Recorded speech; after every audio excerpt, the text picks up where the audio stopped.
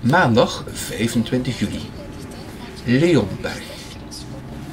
De Rotonde is een praatprogramma op zondagmorgen met Christel van Dijk. Dat wordt uitgezonden op zondagmorgen tussen 8 en 10 en opgenomen wordt in de Rotonde in Westende. Normaal liggen wij op dat uur in bed en lopen wat later onze 5 kilometer. Maar ik haal alle rotondes af als podcast om tijdens langere ritten de tijd te doden.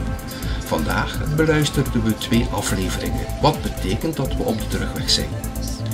Gisteren hebben we de mooiste fietstocht gemaakt van onze reis.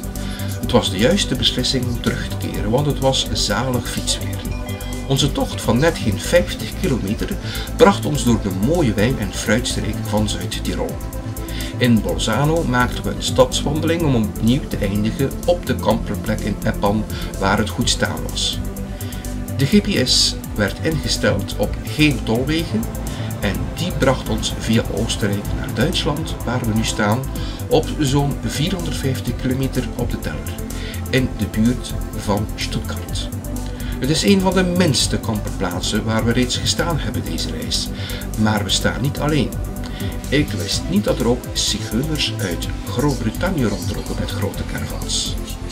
Morgen zakken we verder af. We zien wel waar Oostnest ons brengt.